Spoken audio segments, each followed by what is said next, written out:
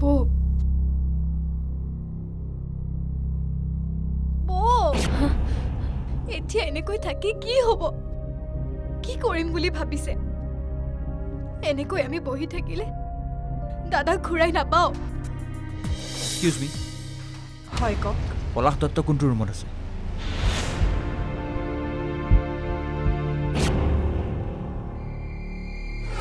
অৰ্ধাংগিনী আজিৰ খণ্ডটি উপভোগ কৰক নিশা আঠ বাজি ত্ৰিছ মিনিটত।